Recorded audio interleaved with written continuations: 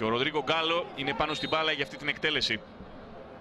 Από μακρινή απόσταση περνάει από το τείχος. Η μπάλα καταλήγει στα δίχτυα παρά την υπερπροσπάθεια που έκανε ο Γιάννης Παπαδόπουλος να απομακρύνει. Ακούσατε νωρίτερα και τον Πάνο Μάλαμα να λέει πόσο επικίνδυνη είναι η ΑΕΚ με αυτές τις εκτελέσεις του Γκάλο, είτε από φάουλ είτε από κόρνερ.